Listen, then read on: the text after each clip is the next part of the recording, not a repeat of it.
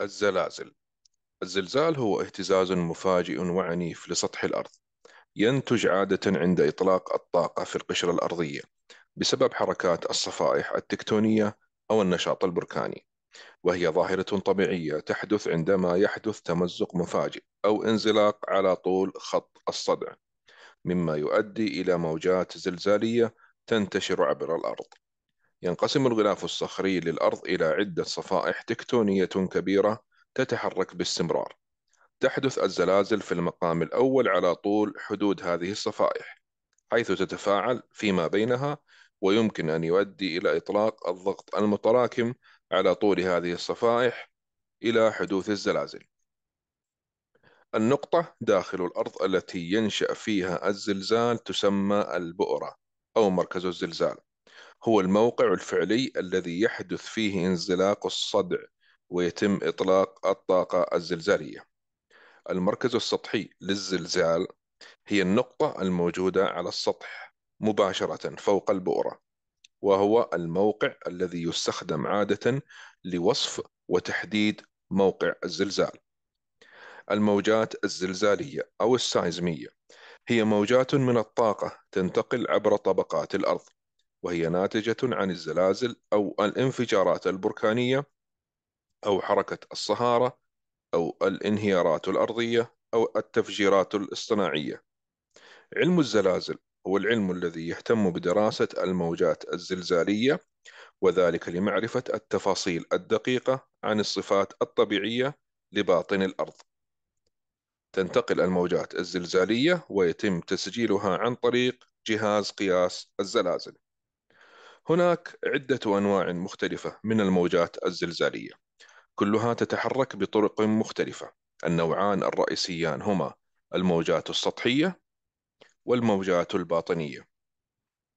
تنتقل الموجات السطحية في الطبقات العليا من القشرة الأرضية ولهذا سميت بالموجات السطحية وتسبب في إحداث حركات سطحية للقشرة الأرضية. تنقسم الموجات السطحية إلى نوعين هما موجات لوف وموجات رايلي. تتميز موجات لوف بأنها أسرع الموجات السطحية انتشارا وتتحرك جزيئاتها على سطح الأرض بحرة أفقية جنبا إلى جنب. أما موجات رايلي فتنتشر بشكل إهليجي وذلك في مستوى رأسي موازي لحركة انتشار الموجة وبسرعة أقل من موجات لوف. السبب الرئيسي في التدمير الذي تسببه الزلازل هي الموجات السطحية بشكل عام وموجات رايلي بشكل خاص.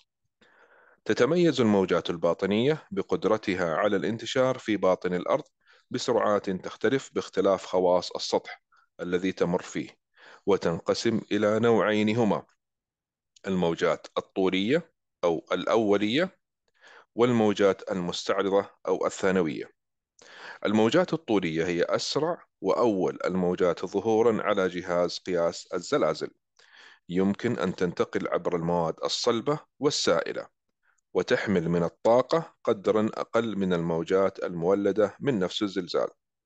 أما الموجات المستعرضة تكون سرعتها أقل من الموجات الطولية وتنتشر في المواد الصلبة فقط ولا تنتشر في السوائل. وهي تحمل من الطاقة قدرا أكبر من الموجات الطولية وتكون سعتها أكبر من سعة الموجات الطولية. يستعمل في الوقت الحاضر نوعان من محدات قياس الزلازل الأرضية. الأول هو مقياس وصفي أي أن الزلازل يتم قياس شدتها عن طريق مشاهدة ووصف التأثيرات الناتجة عنها. وفي هذه الحالة تكون شدة الزلزال مختلفة حسب القرب أو البعد عن البؤرة. ويمكن أن تصنف الزلازل وفق الشدة الزلزالية وحسب درجة الدمار الذي تحدثه أو تحدثه في موقع ما. أهم مقاييس الشدة الزلزالية وأكثرها شيوعا هو مقياس ميركلي المعدل الذي يقسم إلى 12 قسما يكون تأثير الزلزال في الشدة رقم واحد قليلا إلى درجة. قد لا يشعر بها بدون جهاز تسجيل زلزالي ويتدرج المقياس في تصنيف درجات الدمار وصولا إلى الرقم 12 الذي يعكس تدميرا كاملا للمنشآت. أما المقياس الآخر فهو مقياس حسابي أي أن الزلزال يقاس باستعمال معادلات رياضية خاصة تعتمد على سعة الموجة المسجلة. وهذا المقياس لا يتغير نتيجة القرب والبعد عن بؤرة الزلزال وإنما يعطي قياسا لطاقة الزلزال في البؤرة نفسها. وأكثر المقاييس الرياضية استعمالا في الوقت الحاضر هو مقياس ريختر حيث يصنف الزلزال اعتمادا على الكمية المطلقة للطاقة المتحررة عند حصول الزلزال وتسمى هذه القيمة بالمقدار الزلزالي. راصد الزلازل هو الجزء الحساس للغاية الموجود داخل جهاز قياس الزلازل الذي يتكون من كتلة معدنية ثقيلة معلقة بواسطة سلكين زنبركيين يقوم راصد الزلازل برصد حركات الأرض الطبيعية مثل الزلازل وثوران البراكين أو الصناعية الناتجة عن الأنشطة البشرية مثل الانفجارات. يتم تثبيت جهاز قياس الزلازل بشكل آمن على سطح الأرض بحيث تهتز الوحدة بأكملها باستثناء الكتلة المعدنية الثقيلة المعلقة والتي تظل في نفس المكان عندما تهتز الأرض.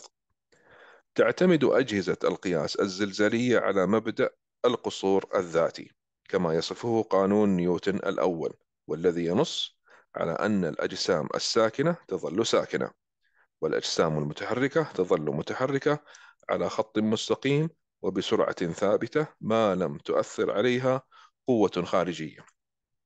مرسمة الزلازل هي البيانات التي نحصل عليها وتكون على شكل تسجيلات زلزالية وخطوط متذبذبة. المحور الأفقي يمثل الزمن ويقاس بالثواني والمحور العامودي يمثل الإزاحة الأرضية ويقاس بالمليمتر.